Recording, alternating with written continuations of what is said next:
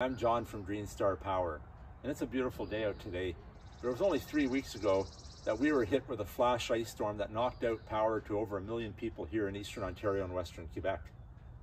Personally, we were out for four days, and I think the thing that made it bearable for me was our GenerLink. This is the GenerLink right here. And I want to tell you a bit about the GenerLink, how it works, and how Green Star Power can help you. So this is our power setup right here coming into our house.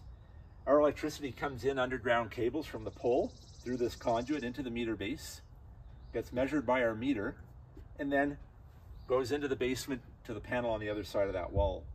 And this piece in between, that's our GenerLink. And the GenerLink is an automatic transfer switch. It does not create electricity, it doesn't generate electricity, it switches electricity. And basically it senses when there's no electricity coming into the house, it senses that, and it then switches the electricity to this connector, or it switches the path of the electricity to this connector here, which is an input to the, to the, the box. And you can plug a generator into here and supply your house from the generator through here. If the power comes back on, the GenerLink protects your house and protects the entire circuit. And so you can have the generator running even if the power comes back on. Also, the GenerLink will protect the system this way, so it will not send electricity back to the pole. And that's the beauty of the GenerLink is that it's fair, other than having to connect your generator, it's a fairly automatic system. So here's what you get with a GenerLink. You get the cord, this one's a 20 footer. It has your standard plug on one end that goes into the the GenerLink. And on the other end, this one here has a 30 amp locking. Mine, I had to put a 20 amp locking on because my generator is a little bit smaller. Um, and we'll sort that out for you. You get a new ring with the instruction manual. You get a ring to put the GenerLink on your meter base and we'll coordinate that with Ontario Hydro or whatever service you use. Um, we'll coordinate the disconnect. Hydro will come, turn off the power at the post, then remove your meter from the base. We install the GenerLink, something like this, and clamp it with the with the clamp, and then Hydro will put the new meter or put the old meter back onto here. And that's all there is to it. Often takes less than an hour. The GenerLink has four status lights. They're actually on the bottom. This one here turns blue whenever there's utility power being applied to your meter base. This one turns red if there's a fault in the system somewhere. This one turns yellow if you're exceeding 30 amps of power through your meter base. And the last one turns blue if you have a generator hooked up to it.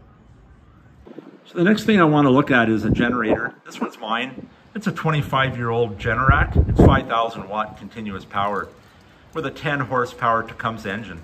So it's a nice generator. It's uh, done me well and I've been able to run a lot of power into my house using it. As far as the GenerLink goes, the really important part is this plug right here. All right, this is your output, your 120 240 volt output, and that's going to be uh, plugged into your GenerLink. So I had shown you the plug earlier on on the cable. This is a 30 amp. It won't fit into a 20 amp. Now, if you had an 8,000 watt generator or a slightly bigger one, you'd stick with the 30 amp plug. But this one here, this one's my cord over here, and I took the 30 amp off and I put a 20 amp on. And the difference mostly is the radius of the plugs as well as where the locking mechanism is. And so that's something that we can take care of once you order your GenerLink, we'll make sure that you get the right end that, that will suit your generator. Here I am in my electrical room in the basement. You can see my power comes inside from out and uh, goes through my 200 amp breaker, which then goes through the two sides of the electrical panel. Now a generator with a GenerLink cannot supply the whole house all at once. And so you need to be able to turn these some of these breakers off or most of them off at any given point and only turn on the ones that your generator can power. And those are going to be the ones that are important to you and everybody's different. So over here on the wall, I have a list of what's important to me, including the fridges and the freezers, the sump pump, uh, my well. And so those are all important to me. The other one that's important is a hot water heater. So if, if its power is going to be out for a while, you'll want to turn on the hot water heater. My generator is a 5,000 watt. My hot water heater takes about 4,500 watts. So I can pretty much only run my hot water heater. I can't run any of the fridges. So I have to be able to turn everything off and just turn this one on.